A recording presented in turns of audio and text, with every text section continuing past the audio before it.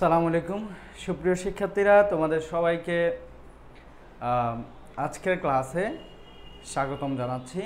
আশা করছি তোমরা সবাই অনেক ভালো আছো। তোমাদের ঈদ ভ্যাকেশন খুবই ভালো কেটেছে, আশা করছি। যারা আমাদের সাথে যুক্ত হয়েছো, তারা শুনতে পাচ্ছ কিনা একটু দ্রুত আমাকে জানাবা। সাউন্ড কোয়ালিটি, ভিডিও সব কিছু ঠিকঠাক আছে কিনা একটু জানাবা। অনেকে আমাদের সাথে যুক্ত হয়েছে ইতিমধ্যে, তোমরা ক্লাসটা তোমাদের বন্ধুদের মাঝে শেয়ার করবা আর বাকিদেরকে একটু মেনশন করে দিবা। আজকের ক্লাসটা স্পেশালি হচ্ছে তাদের জন্য যারা দু হাজার চব্বিশ সালে অর্থাৎ কিছুদিন পরেই, এই মাত্র কয়েকদিন পরেই এইচএসসি পরীক্ষায় বসতে যাচ্ছ। সো তোমরা জানো পড়ালেখা তোমাদের জন্য নিয়মিত ফ্রি লাইফ ক্লাসের আয়োজন করে থাকে। আমরা ঈদের পর পুনরায় নব উদ্যমে তোমাদের জন্য ক্লাস শুরু করেছি। আজকে আমাদের ফার্স্ট ক্লাস ঈদের পর প্রথম লাইভ ক্লাস এবং কিছুদিন, অর্থাৎ কয়েকদিন পরেই তোমাদের পরীক্ষার প্রত্যেকটা সাবজেক্টের জন্য আমরা ফ্রি সাজেশন ক্লাস নেব ইনশাল্লাহ যারা ক্লাসে যুক্ত হয়ে গিয়েছ, কষ্ট করে একটু তোমার চব্বিশ সালের পরীক্ষার্থী বন্ধু যারা আছে, সহপাঠী যারা আছে, তাদেরকে একটু মেনশন করে দাও। উপস্থিতি খুবই কম। আমরা বেশিক্ষণ ক্লাস করব না, আমরা অল্প কিছু সময় ক্লাস করব। এটা হচ্ছে অ্যারাউন্ড থার্টি ফাইভ মিনিটস এবং এর মাঝে আমরা এই অধ্যায় অর্থাৎ প্রথম পত্রের চতুর্থ অধ্যায় উমাইয়া খেলাফত, যেটা গুরুত্বপূর্ণ একটা অধ্যায় যেখান থেকে পরীক্ষার প্রশ্ন আসে। এই অধ্যায়ের বোর্ড পরীক্ষায় আসা এমসিকিউগুলো ইনশাল্লাহ সলভ করব। সো আমি দেখতে পাচ্ছি মারিয়াম আক্তার আমাদের সাথে যুক্ত আছো, এরপরে ঋতু আক্তার যুক্ত হয়েছ, সালাম দিয়েছ।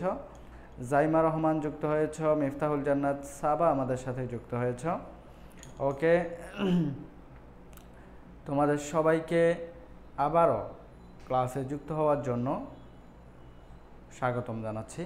আমাকে একটু জানাবা তোমরা কে কোত্থেকে আজকে আমাদের সাথে যুক্ত আছো, বাংলাদেশের কোন জেলা থেকে তুমি আমাদের সাথে ক্লাসে যুক্ত হয়েছো? শারমিন, ইয়াসমিন, তাহি আমাদের সাথে যুক্ত আছো। এরপরে আফরিন আক্তার ক্লাসে যুক্ত হয়েছ। মেহরিমা সুলতানা যুক্ত হয়েছ। মেহরিমা সুলতানা মোটামুটি রেগুলার স্টুডেন্ট প্রায় সময় ক্লাসে দেখা যায়। ওকে এরপরে জুবাইর আমাদের সাথে আছো। শামিমা ইয়াসমিন তাহি, সে চট্টগ্রাম থেকে আমাদের সাথে আজকে ক্লাস করছে। বাকিরা কে থেকে ক্লাস করছ একটু দ্রুত জানাবা, আমরা এক মিনিটের মধ্যেই ক্লাসে চলে যাব। দেরি করব না, একটু দ্রুত। ওকে ঋতু আক্তার নরসিংদী থেকে মোহাম্মদ তানবীর আচ্ছা এবং মেহেরিমা সুলতানা, তোমরা বন্ধুদেরকে মেনশন করছ ভেরি গুড মোহাম্মদ তানভীর চট্টগ্রাম থেকে, জাইমা রহমানও চট্টগ্রাম থেকে। বেশি সংখ্যক শিক্ষার্থী আমি দেখতে পাচ্ছি, তোমরা চট্টগ্রাম থেকে আমাদের সাথে ক্লাসে আছো। এরপরে তরিকুল প্রশ্ন করেছ, পড়ালেখা গ্রুপ কি চট্টগ্রাম থেকে পরিচালিত হয়? হ্যাঁ চট্টগ্রাম থেকেই পরিচালিত হয়। ওকে এরপরে আফরিন আক্তার আমাদের সাথে ঢাকা থেকে যুক্ত আছো। ঠিক আছে, আমরা তাহলে পরিচিতি পর্ব নিয়ে আর কথা না বাড়াই ক্লাসে চলে যাচ্ছি। তোমরা যেটা করবা, আজকে যেহেতু এমসিকিউর উপর ক্লাস হবে, প্রশ্নগুলো দেখার সাথে সাথে তোমরা অ্যান্সার করবা। আমি আশা করছি যেহেতু পরীক্ষা সন্নিকটে, তোমরা ইতোমধ্যে তোমাদের প্রত্যেকটা বইয়ের সিলেবাস শেষ করে ফেলেছো, তোমরা জাস্ট রিভিশন দিচ্ছ। এবং তারই অংশ হিসেবে এখানে যে প্রশ্নগুলো আমি মেনশন করব, তোমরা সেগুলোর উত্তর একদম সবাই করতে পারবা বলে আমি আশা রাখছি। সো তাহলে আমরা আলোচনায় চলে যাচ্ছি। আমাদের প্রথম প্রশ্ন যেটা আজকের এই অধ্যায়ের, সেটা হচ্ছে, উমাইয়া খেলাফতের রাজধানী কোথায় স্থাপিত হয়? এখানে দুইটা বিষয়, একটা হচ্ছে আব্বাসি খেলাফতের রাজধানী, আরেকটা হচ্ছে উমাইয়া খেলাফতের রাজধানী। তোমরা এ বিষয়টাতে কখনোই প্যাচ লাগাবা না। একটু বলো তো দেখি উমাইয়া খেলাফতের রাজধানী কোথায় স্থাপিত হয়? এটা কি মদিনায়, দামেশকে, কুফায়, বাগদাদে? কোথায় উমাইয়া খেলাফতের রাজধানী ছিল? প্রশ্নটা ভিন্নভাবেও হতে পারতো যে উমাইয়া খেলাফতের রাজধানী কোথায় ছিল। সো খুব দ্রুত অ্যান্সার করতে হবে। মেহেরিমা সুলতানা বলেছ বি আচ্ছা এরপরে মোহিনী মায়া আমাদের সাথে যুক্ত হয়েছ। ভেরি গুড একটু দ্রুত, তোমাদের উপস্থিতি এত কম কেন? মাত্র বিশ পঁচিশ জন স্টুডেন্ট ক্লাস করতেছো, এটা খুবই অ্যালার্মিং ব্যাপার কিন্তু। আর এটা আসলে আমাদের জন্য অনুপ্রেরণা না। আমরা তোমাদের উপস্থিতি বেশি থাকলে ক্লাস নিতে স্বাচ্ছন্দ্য বোধ করি। ক্লাস প্রাণবন্ত হয়, বুঝছ? ওকে অনেকেই উত্তর করেছ খ, যারা উত্তর খ করেছ, তাদের সবার উত্তর সঠিক হয়েছে। উমাইয়াদের রাজধানী ছিল দামেশকে। আর আব্বাসীয়দের রাজধানী ছিল বাগদাদে। মনে থাকবে তো? বাগদাদ ছিল আব্বাসী খেলাফতের বা আব্বাসীয়দের রাজধানী। কেমন? আর দামেশক হচ্ছে উমাইয়া খেলাফতের রাজধানী। এটা মনে রাখবে এরপরে পরের প্রশ্নে আমরা চলে যাই। সেকেন্ড যে প্রশ্ন, সেটা হচ্ছে, কোন উমাইয়া শাসককে রাজেন্দ্র বলা হয়? কোন উমাইয়া শাসককে রাজেন্দ্র বলা হয়? এটা খতেও প্রায় সময় পরীক্ষা আসে যে কেন তাকে রাজেন্দ্র বলা হয়। কোন উমাইয়া খলিফাকে বা কোন শাসককে রাজেন্দ্র বলা হয়? এবং এটাও জানতে চাওয়া হয় যে কেন রাজেন্দ্র বলা হয়। তোমরা কি জানো, আজকের এই ক্লাসটা নিলে আমাদের ইসলামের ইতিহাস প্রথম পত্রের প্রত্যেকটা অধ্যায়ের উপর প্রিভিয়াস ইয়ারের যে বোর্ড এমসিকিউগুলো আছে, সেগুলোর ক্লাস নেওয়া হয়ে গিয়েছে। অর্থাৎ আমাদের chapter one two three four five পাঁচটা অধ্যায় আছে, তোমাদের সিলেবাসভুক্ত প্রথম পত্রের। আমরা পঞ্চম অধ্যায়ের ক্লাস নিয়েছি, প্রথম, দ্বিতীয়, তৃতীয় অধ্যায়েরও ক্লাস নিয়েছি। আজকে চতুর্থ অধ্যায়ের ক্লাস নিলে আমাদের প্রথম পত্রের ক্লাস শেষ হবে। আমরা চেষ্টা করব ইনশাল্লাহ নেক্সট ক্লাসে যদি পসিবল হয়। আর যদি তোমাদের পরীক্ষা শুরু হয়ে যায়, তখন তো আমরা সাজেশন ক্লাস নেব ম্যারাথন ক্লাস তোমাদেরকে পরীক্ষা ভালো করার জন্য সাজেশন দেব। তো এর মাঝে আর যদি এরকম লাইভ সেশন নেওয়ার সুযোগ হয়, আমরা হচ্ছে তৃতীয় অধ্যায় যেটা, দ্বিতীয় পত্রের মুঘল শাসন, অনেক বড় একটা অধ্যায়। সেখান থেকে তোমাদের দ্বিতীয় পত্রে মিনিমাম দুই থেকে তিনটা সিকিউ পরীক্ষায় থাকবে। ওই অধ্যায় থেকে আমরা আলোচনা করার চেষ্টা করব ইনশাল্লাহ আচ্ছা তাহলে এটার অ্যান্সার কি হবে? আমরা বলেছি, কোন উমাইয়া শাসককে রাজেন্দ্র বলা হয়? রাজেন্দ্র, এই কথাটাকে ইংলিশে বলা হয় কি? ফাদার অফ কিংস তাহলে ফাদার অফ কিংস মানে কি? মানে হচ্ছে রাজেন্দ্র। বাংলায় যেটাকে বলা হয় রাজেন্দ্র। তুমি যদি খাঁটি বাংলায় বলতে যাও, অনুবাদ করতে যাও, তাহলে ফাদার মানে পিতা আর কিংস মানে হচ্ছে রাজা। অর্থাৎ রাজাদের পিতা যিনি তাকে বলা হয় রাজেন্দ্র। এটা কোন উমাইয়া খলিফাকে বলা হয়? জাইমা রহমান, উত্তর করেছ খ মোহিনীমায়া খ, তরিকুল ইসলামও সঠিক উত্তর করেছ। যারা খ বা বি বলেছ, তোমাদের সবার উত্তর সঠিক হয়েছে। খলিফা আব্দুল মালিককে রাজেন্দ্র বলা হয়। কেন? তার চারজন পুত্র পরপর খলিফা মনোনীত হয়েছেন বলে। তার চারজন পুত্র পরপর খলিফা মনোনীত হয়েছেন বলেই উমাইয়া খলিফা আব্দুল মালিককে রাজেন্দ্র বলা হয়। আশা করি বুঝতে পেরেছ সবাই? পরবর্তী প্রশ্নে চলে যাচ্ছি আমরা। কুব্বাতুস সাখরা কে নির্মাণ করেন? কুব্বাতুস সাখরাটা আসলে একটা উমাইয়া স্থাপত্য। যেটাকে ইংলিশে বলা হয় ডোম অফ দ্য রক। কুব্বাতুস সাখরাকে ইংলিশে বলা হয় ডোম অফ দ্য রক।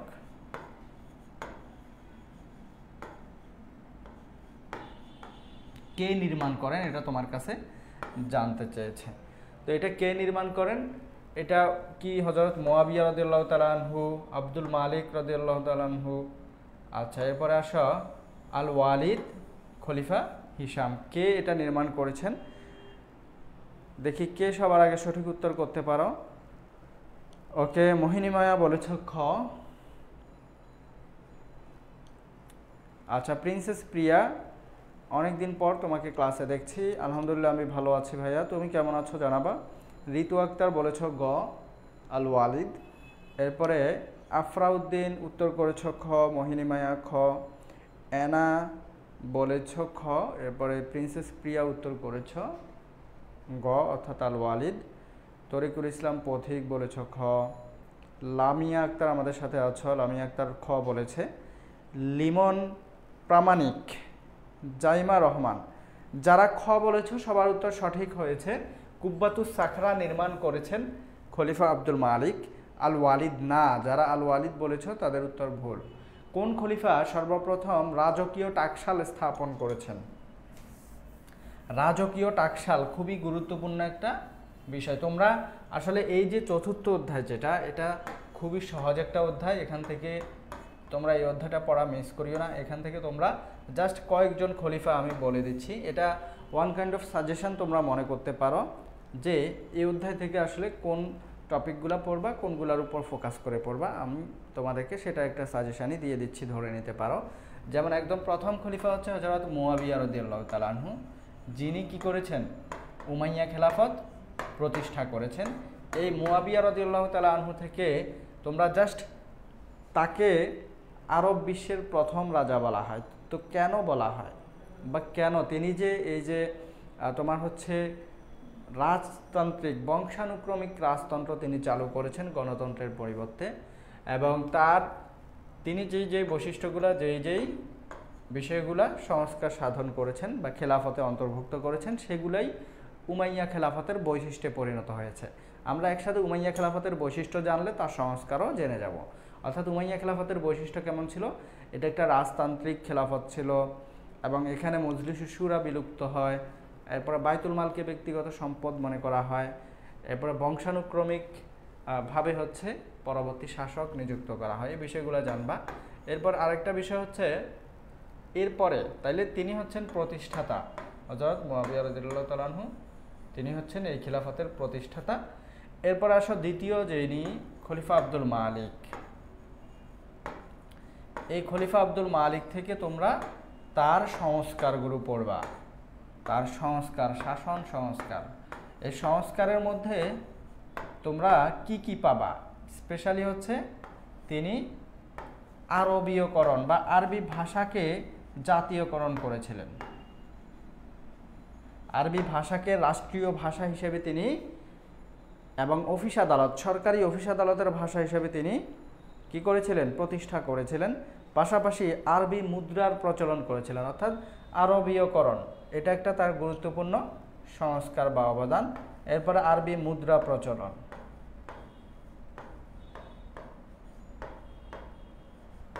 এরপরে তাকে বলা হয় প্রকৃত প্রতিষ্ঠাতা। উমাইয়া খেলাফতের প্রকৃত প্রতিষ্ঠাতা। কেন বলা হয়?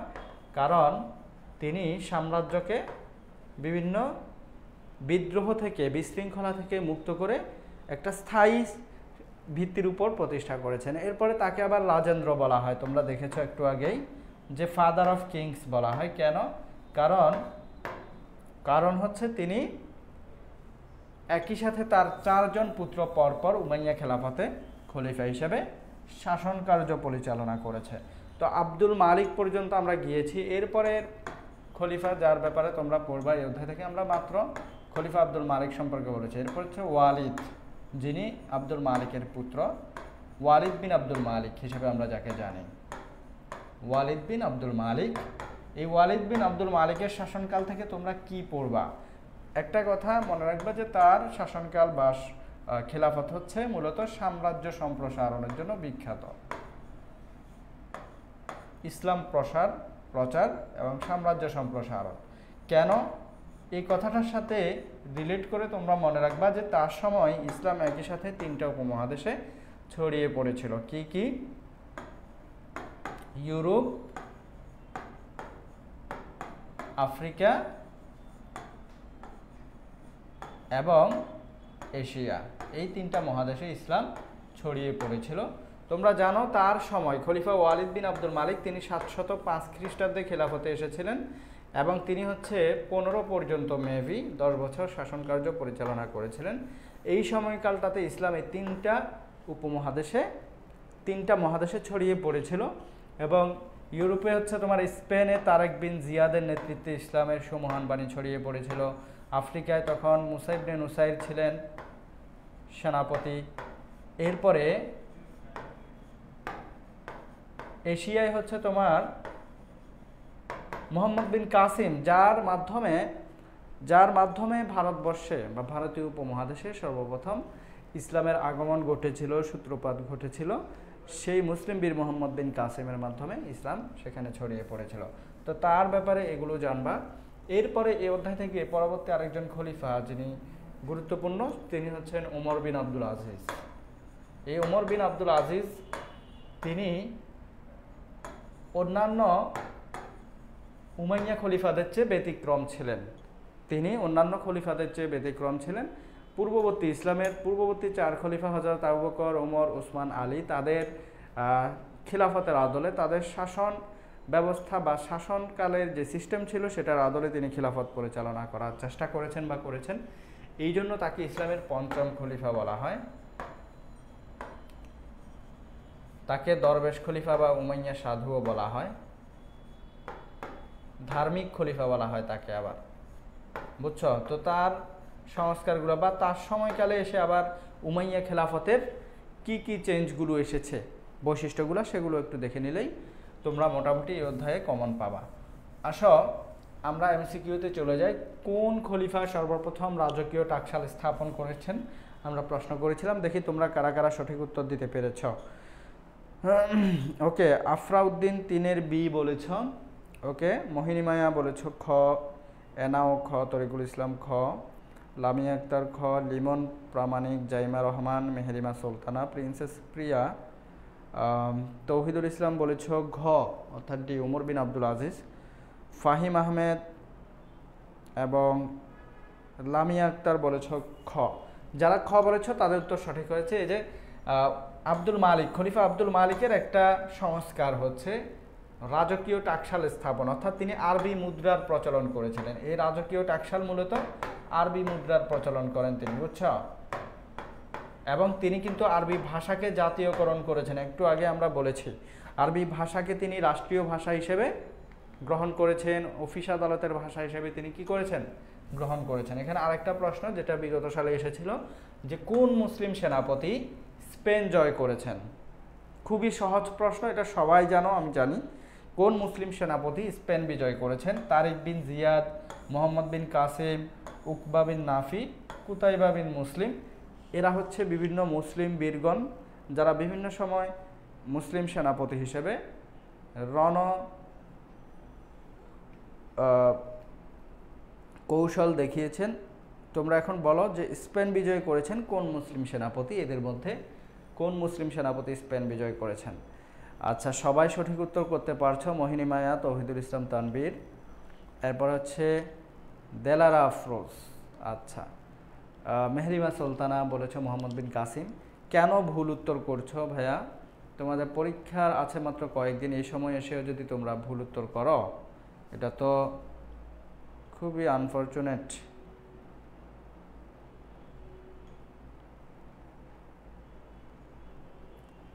এটা আসলে মেনে নেওয়া যায় না। আসো, এটা সঠিক উত্তর হচ্ছে তারেক বিন জিয়াদ। এবং তিনি কোন সময়কার সেনাপতি ছিলেন? তখন তারেক বিন জিয়াদ যখন স্পেন বিজয় করেন, তখন তোমরা বলো তো দেখি উমাইয়া খেলাফতের কোন খলিফা শাসক ছিলেন? কে কোন খলিফা উমাইয়া খেলাফতে আসেন ছিলেন? দেখি কমেন্টে একটু দ্রুত অ্যান্সার করো। কোন খলিফার শাসনকালে তিনি স্পেন বিজয় করেছেন? আমরা পরবর্তী প্রশ্নে যাচ্ছি। আচ্ছা পরবর্তী প্রশ্ন। আমি জিজ্ঞেস করার আগে তোমাদেরকে যেটা বলেছি, তোমরা সেটার অ্যান্সার করবা। যে তারেক বিন জিয়াদ যখন স্পেন বিজয় করেন, তখন উমাইয়া খলিফা কে ছিল? সবার আগে সঠিক উত্তর করেছ, তরুণ আহমেদ। তোমাকে অসংখ্য ধন্যবাদ। তুমি নামে যেমন তরুণ, তোমার পারফরমেন্স তোমার চলাফেরা, তোমার কার্যক্রম সব কিছুতেই যেন তুমি তরুণ থাকো। এটা এই না যে আবার সারা জীবন তরুণই থাকবা, ঠিক আছে? ওকে কোন খলিফাকে উমাইয়া সাধু বলা হয়, এটা একটা সহজ প্রশ্ন। একটু আগে আমরা এটা নিয়ে আলোচনা করেছিলাম, আশা করি তোমরা পারবা। ওকে, এটাতে আমাদের প্রশ্নে ফিরে আসো। কোন খলিফাকে উমাইয়া সাধু বলা হয়? হজরত মোয়াবিয়া রদুল্লাহ তালাহু আব্দুল মালিক, সুলাইমান, উমর বিন আব্দুল আজিজ। কোন খলিফাকে উমাইয়া সাধু বলা হয়? দ্রুত অ্যান্সার করে ফেলো। এটা হচ্ছে প্রশ্ন নাম্বার ছয়। আমরা কি পাঁচ নাম্বার প্রশ্ন পড়ি নাই? আচ্ছা পড়েছি। ওকে, আসা। ছয় নাম্বার প্রশ্ন। অ্যান্সার কি হবে? দ্রুত বলে দাও। জাইমা রহমান, ঋতু আক্তার বলেছ আচ্ছা ঋতু আক্তার মনে হয় এটা আগের অ্যান্সার ওয়ালিদ। ওকে দেলারা আফরোজ, মেহরিমা সুলতানা। মোহিনীমায়া বলেছ কিছু প্রশ্ন টেকনিক্যালি করে, তখন কীভাবে উত্তর করব? সেরকম টেকনিক্যাল কোয়েশ্চেন আসলে আমরা দেখিয়ে দেব, কীভাবে উত্তর করবা। এগুলো সহজ প্রশ্ন, এগুলা এখানে টেকনিকের কিছু নাই। এটা হচ্ছে জাস্ট তোমার এই যে কোন খলিফাকে উমাইয়া সাধু বলা হয়, এটা তোমাকে জানা থাকতে হবে। এটা যে তুমি না জানো, এখানে কোনো টেকনিক অ্যাপ্লাই করার সুযোগ নাই। তাহলে এটার অ্যান্সার হচ্ছে উমর বিন আব্দুল আজিজ। তোমরা যারা উত্তর করেছ, সবার উত্তর সঠিক হয়েছে। এরপর আসো, এই যে খেয়াল করো। একটা বিষয় খেয়াল করো, যে উমাইয়া আমলে কাদের প্রাধান্য স্থাপিত হয়ে, হয়েছিল বা কাদের প্রাধান্য স্থাপিত হয়? এটার অ্যান্সার কি তোমরা পারো কিনা একটু দ্রুত জানাও। অনারবদের, হিমারীয়দের, মুদারীয়দের, আরবদের। তো এটা এখান থেকে যদি তুমি এই প্রশ্নটার অ্যান্সার যদি বের করতে চাও, যদি বলো যে টেকনিক্যালি কীভাবে উত্তর করব তাহলে আমি তোমাকে বলতে পারি কীভাবে তুমি অপশানগুলো সিলেক্ট করবা সঠিক উত্তর। তার আগে তোমরা একটু ট্রাই করো, দেখি সঠিক উত্তর কেউ দিতে পারো কিনা। এটা সঠিক উত্তর কি হবে? উমাইয়াদের শাসন আমলে কাদের প্রাধান্য স্থাপিত হয়েছিল? কাদের প্রাধান্য স্থাপিত হয়েছিল উমাইয়াদের শাসন আমলে? দ্রুত করতে হবে। আমরা বেশি সময় নেব না। খুব কম সংখ্যক স্টুডেন্ট অ্যান্সার করতে পারছ এটা। আচ্ছা সাকিব চট্টগ্রাম থেকে আমাদের সাথে যুক্ত হয়েছে। ধন্যবাদ, সাকিব। এরপরে জাইমা রহমান, মোহিনী মায়া, ঋতু আক্তার, আফরিন, তোমরা সবাই বলেছ গড় উত্তর সঠিক হয়েছে, বাট কীভাবে বুঝেছ সেটা জানি না। দেখো, উমাইয়াদের রাজধানী ছিল কোথায়? একটু আগে দেখেছ তোমরা, দামেস্ক। অন্যদিকে আব্বাসীয়দের রাজধানী ছিল বাগদাদ। আর বাগদাদ হচ্ছে বর্তমান ইরাকের রাজধানী নাকি? তো এই যে, এই জন্য আব্বাসীয় খেলাফতে দেখা যায় ইরাকিদের প্রাধান্য ছিল। কাদের? ইরাকি ইরানিদের। ইরাকি এবং ইরানিদের প্রাধান্য ছিল সেখানে রাজধানী হওয়ায়। অন্যদিকে আব্বাসীয়দের এখানে আরবদের প্রাধান্য ছিল। তো এখন বলতে পারো হিমারীয় কারা? মুদারীয় কারা? হিমারীয়, মুদারীয় এরাও আরব। উত্তর আরব এবং দক্ষিণ আরব এদেরকে হিমারীয়, মুদারীয় বলা হয়। তাহলে আরব এই কথাটার মধ্যে কিন্তু দুইজনই আছে। হিমারীয় বা মুদারীয় বললে শুধুমাত্র দক্ষিণ আরব বা উত্তর আরব বোঝাবে। সো এই দুটাকে আমরা ক্যান্সেল করে দিলাম। অনারবদের হবে না, কারণ এখানে আরবদের তাইলে আমাদের অপশানগুলো হচ্ছে ছোট হয়ে আসলো। কেমন? এরপরে প্রশ্ন দেখো, আব্দুল মালিকের, এই যে এই এই টাইপের যে প্রশ্নগুলো আছে, এগুলো কিছুটা ক্রিটিক্যালি অ্যান্সার করতে হয়। কারণ এখানে যেহেতু মাল্টিপল অপশন আছে, তোমাকে কোন অপশানটা হবে সেটা আগে ভালোভাবে বুঝতে হবে, এরপর অ্যান্সার করতে হবে। খেয়াল করো আব্দুল মালিকের শাসন আমলে উল্লেখযোগ্য সংস্কার সমূহ তাহলে খলিফা আব্দুল মালিক, যাকে উমাইয়া খেলাফতের প্রকৃত প্রতিষ্ঠাতা বলা হয়, তার সময় কি কি সংস্কারগুলো হয়? এখানে যেগুলো আছে, এগুলোর মধ্যে কোনটা? আরবি মুদ্রা প্রচলন, আরবি লিপির উৎকর্ষ সাধন, কোরআন সংকলন। বলো তো এখানে আসলে কোনটা কোনটা হতে পারে? তোমরা কি এই যে অপশানগুলো দেখে আই হোপ তোমরা এতক্ষণে বুঝে গিয়েছো আসলে কোন কোন সংস্কারগুলো হয়েছে। যে কোরআন সংকলন যেটা, এটা তো উমাইয়া কোনো খলিফার আমলেই হয় নাই। সুতরাং এটা হবেই না কোনোভাবেই, এটা আমরা শুরুতেই কেটে দিলাম। আরবি মুদ্রা প্রচলন হ্যাঁ এটা আমি তোমাদেরকে বলেছি যে তার অন্যতম সংস্কার হচ্ছে তিনি আরবি ভাষার জাতীয়করণ করেছেন, আরবি মুদ্রা প্রচলন করেছেন, আরবি লিপির উৎকর্ষ সাধন এটাও তার সাথে যাচ্ছে। সুতরাং আমাদের এখানে সঠিক উত্তর আমরা পেয়ে গিয়েছি। ক, অর্থাৎ এক এবং দুই। তোমরা যারা ক উত্তর করেছ, যেমন মোহিনী মায়া, এনা, দেলারা আফরোজ উষা গালিব, জাইমা রহমান মেহরিমা সুলতানা, তোমাদের সবার উত্তর সঠিক হয়েছে। তোমাদের সবাইকে অসংখ্য ধন্যবাদ। পরবর্তী প্রশ্ন, নিচের কারা উমাইয়া খলিফা আল ওয়ালিদের সেনাপতি ছিলেন? এটাও একটা মাল্টিপল অপশানস কোয়েশ্চেন দেখো, নিচের কারা উমাইয়া খলিফা আল ওয়ালিদের সময় সেনাপতি ছিল? আল ওয়ালিদের শাসনকালটা আমরা বলেছি ইসলামের প্রসারের জন্য বিখ্যাত, ইসলাম সম্প্রসারণের জন্য বিখ্যাত। তো তার সময় যে সকল ইসলামী সেনাপতি, মুসলিম সেনাপতিদের নেতৃত্বে ইসলাম ছড়িয়ে পড়েছিল। অর্থাৎ কারা কারা? এখানে তিনজন সেনাপতির নাম আছে। এদের মধ্যে কারা কারা? তার সময়কার সেনাপতি হাজ্জাজ বিন ইউসুফ, তারেক বিন জিয়াদ মুসাইবনে নুসাইদ কি হবে সঠিক উত্তর? খুব দ্রুত অ্যান্সার করতে হবে। ক, খ, গ, ঘ। কী হবে সঠিক উত্তর? একটু দ্রুত বলো।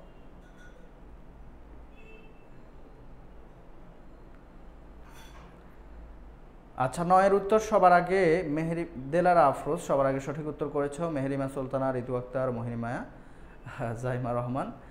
লিমন প্রামাণিক বলেছ, ক হয় নাই ভাইয়া।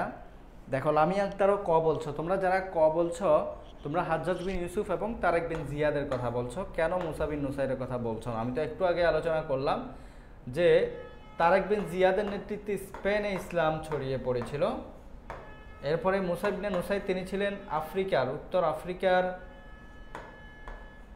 গভর্নর। খলিফা ওয়ালিদ বিন আব্দুল মালিকের সময় হাজ্জাজ বিন ইউসুফ তিনিও তার সময়কার একজন মুসলিম সেনাপতি ছিলেন। তাহলে তিনোটাই হচ্ছে এখানে সঠিক উত্তর। এবার আসো উদ্দীপক। হুম, তোমরা কি আবার এটার উত্তর দেখে নিয়েছো কেউ? হালকা করে যে দেখা গিয়েছে। যাই হোক, উদ- উদ্দীপক পড়ে বোঝার চেষ্টা করো নকলের কোনো দরকার নাই। নকল করলে আসলে আলটিমেটলি নিজেরই ক্ষতি, নাকি? ওকে দেখো এখানে কি বলেছে, আমরা একটু খেয়াল করি। নাসিরুদ্দিন নাসিরুদ্দিন একজন ভদ্রলোক, তিনি ক নামক একটা রাষ্ট্রের শাসক। শাসন ক্ষমতা গ্রহণের পর তিনি পূর্ববর্তী যেই নিয়ম ছিল, গণতান্ত্রিক রীতি, সেটা বাদ দিয়ে নিজের পুত্রকে উত্তরাধিকার নিয়োগ করেন। ফলে রাষ্ট্র ব্যবস্থায় নতুন একটা রীতি চালু হয়। আচ্ছা এটা তো এখানে এমসিকিউর জন্য দিয়েছে। এটা যদি সিকিউর উদ্দীপক হয়, হতে পারে না? অফকোর্স হতে পারে। তাহলে নাসিরুদ্দিন নামক যে ব্যক্তি, ইনি কাকে রিপ্রেজেন্ট করছে? এখানে হচ্ছে প্রশ্ন। নাসিরুদ্দিনের কর্মকাণ্ডের সাথে তোমার পঠিত কোন শাসকের মিল রয়েছে? দেখো, নাসিরুদ্দিন ব্যক্তি, তিনি একটা রাষ্ট্রের শাসক। তিনি শাসন ক্ষমতা আসার পর একটা নতুন নীতি প্রবর্তন করেছেন। গণতান্ত্রিক নীতি বাদ দিয়ে নিজের পুত্রকে উত্তরাধিকার নিয়োগ করেছেন। তাহলে দেখো তো, উমাইয়া খেলাফতের প্রতিষ্ঠাতা হচ্ছে মোয়াবিয়া রদিয়াল্লাহ তালানহু এবং তিনি উমাইয়া খেলাফত প্রতিষ্ঠার পর পরবর্তী শাসক হিসেবে তার পুত্র ইয়াজিদকে কিন্তু তিনি জীবিত থাকতেই মনোনীত করে গিয়েছিলেন। সো এই যে বংশানুক্রমিক রাজতন্ত্র যেটা তিনি প্রতিষ্ঠা করেছেন, যার জন্য তাকে আরব বিশ্বের প্রথম রাজাও বলা হয়, সেটাও তোমরা জানো। এই যে মোয়াবিয়া রদিয়াল্লাহ তালাহু তিনি হচ্ছে আরব বিশ্বের প্রথম রাজা, তাকে বলা হয়। ওকে এরপরে এরপরে যে খলিফ খিলাফতটা আছে, আব্বাসীয় খিলাফত, সেটাও কিন্তু উমাইয়া খেলাফতের না, একটা বংশানুক্রমিক খিলাফত ছিল। তাহলে আগে কিন্তু এটাই আসে এখানে, যেটা যিনি চালু করেন এই সিস্টেম তিনি হচ্ছেন মুয়াবিয়া রদিল্লাহ তালাহম এটাই হচ্ছে সঠিক উত্তর। যারা করেছে, সবাইকে ধন্যবাদ। এরপরের প্রশ্নটা তোমরা অ্যান্সার করবা। তোমাদের কমেন্ট দেখব আমি। এখানে দেখো, এ নাসির উদ্দিনের সাথে সাদৃশ্যমূলক শাসক, শাসকের উত্তরাধিকার নিয়োগের ফলে রাষ্ট্রে কি হয়? এই যে, তিনি যে তার উত্তরাধিকার নিয়োগ করেছিলেন নিজের পুত্রকে। এটার ফলে কি হয়? বংশানুক্রমিক রাজতন্ত্র সূত্রপাত হয়, স্বৈরতন্ত্রের সূত্রপাত হয়, খিলাফতের পবিত্রতা নষ্ট হয়। কি হবে এটা সঠিক উত্তর? দ্রুত জানিয়ে দাও। ক, খ, গ, ঘ। কি হবে সঠিক উত্তর? এটা হচ্ছে আমাদের কত নাম্বার প্রশ্ন? এগারো নম্বর প্রশ্ন। ওকে? নাসিরুদ্দিন যেভাবে, ক নামক রাষ্ট্রের শাসক নাসিরুদ্দিন যেভাবে গণতান্ত্রিক প্রথা বাদ দিয়ে শাসন ব্যবস্থায় মনোনয়ন প্রথা প্রবর্তন করেছেন, তেমনিভাবে আমাদের এখানকার উমাইয়া খেলাফতের হজরত মোয়াবিয়া রদিউল্লাহ তালাহু তার নিজের পুত্র ইয়াজিদকে শাসক হিসেবে মনোনীত করেছিলেন। এর ফলে আসলে কি হয়েছে? উমাইয়া খেলাফতে কি হয়েছে?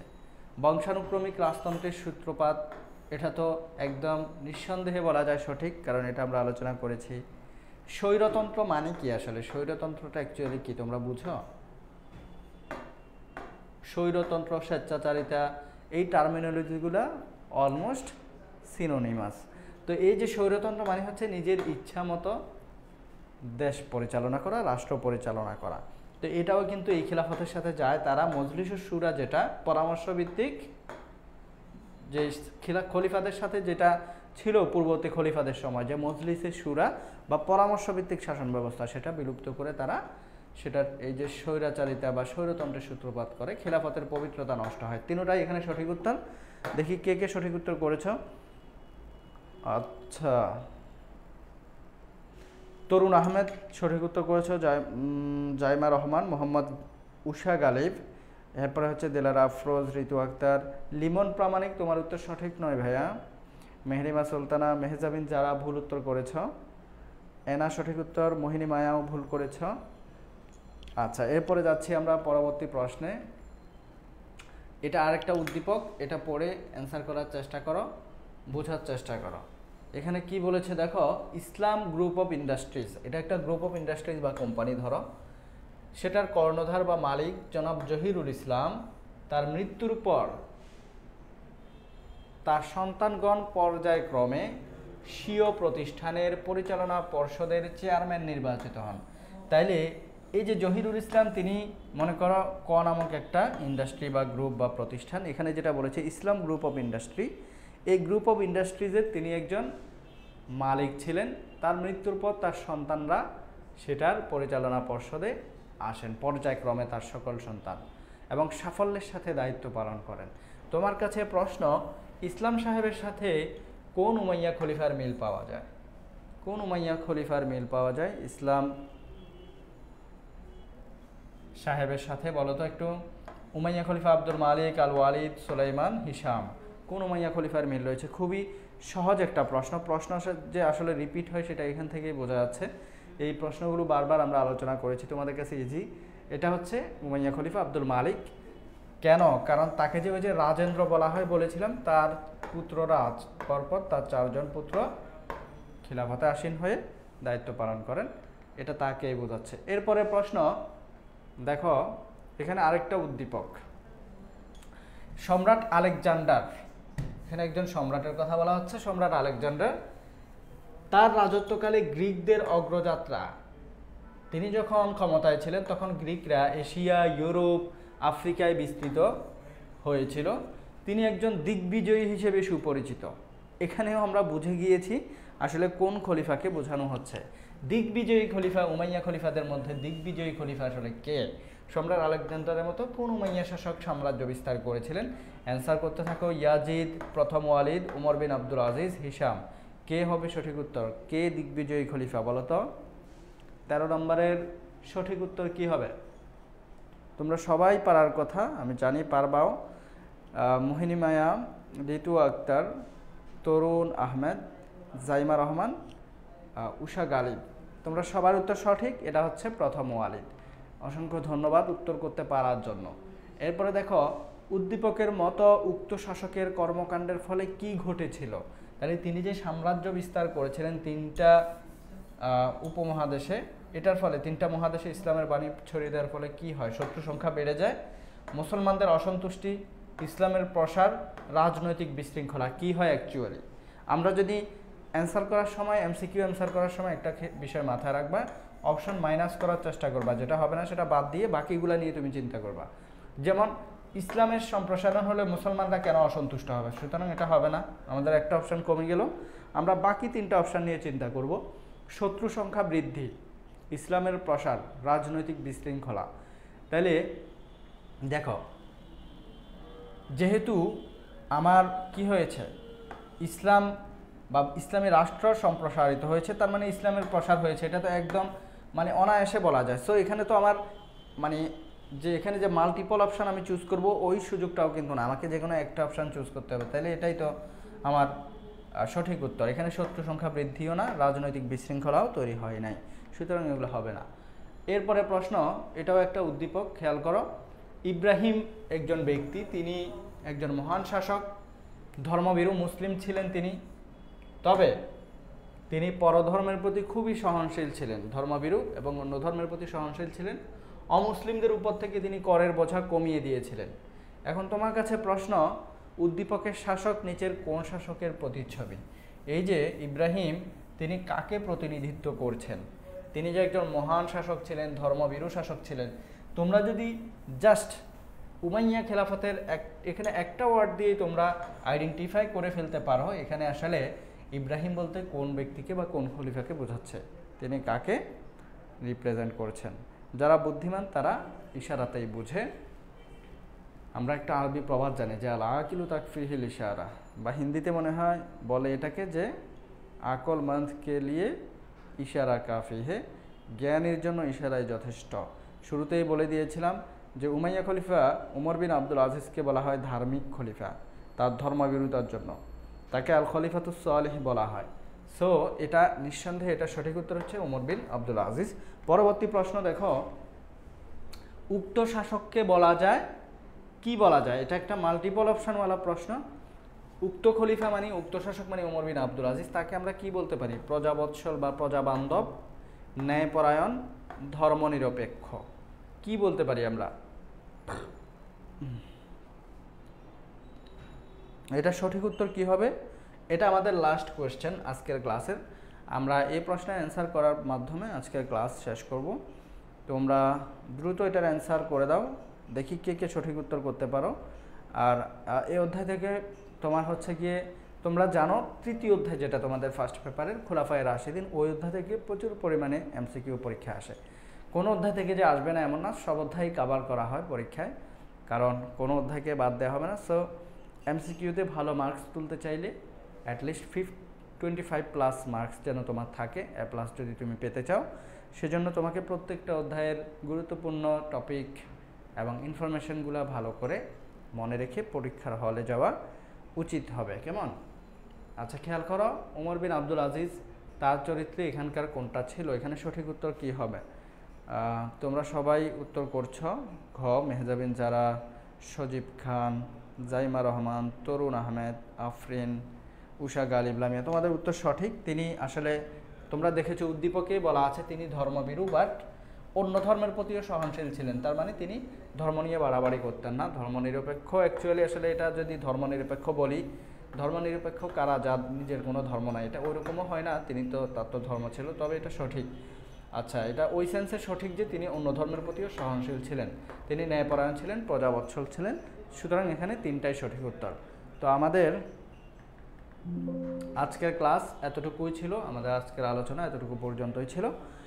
আমরা আহ, ক্লাসের একদম শেষ পর্যায়ে আছি। তোমরা যারা শুরু থেকে এই পর্যন্ত উপস্থিতি যদিও খুবই কম, ঈদের পর প্রথম ক্লাস অনেকের এখনও ঈদের আমেজ কাটে নাই। তোমরা মাংস নিয়ে ব্যস্ত আছো আমি জানি।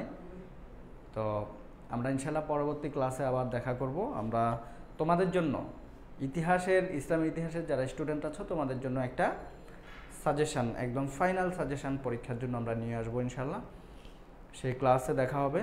এর মাঝে যদি কোনো ক্লাস হয় এমসিকিউ সলভের তোমরা অবশ্যই ক্লাসে থাকবা। বন্ধু বান্ধবদেরকে নিয়েই ক্লাসে উপস্থিত থাকবা। সবাইকে অসংখ্য ধন্যবাদ। ক্লাসটা শেয়ার করে নিজেদের টাইমলাইনে রেখে দিবা। সবাই নিজেদের যত্ন নেবা, ভালো থাকবা। আল্লাহ হাফেজ। আসসালামু আলাইকুম।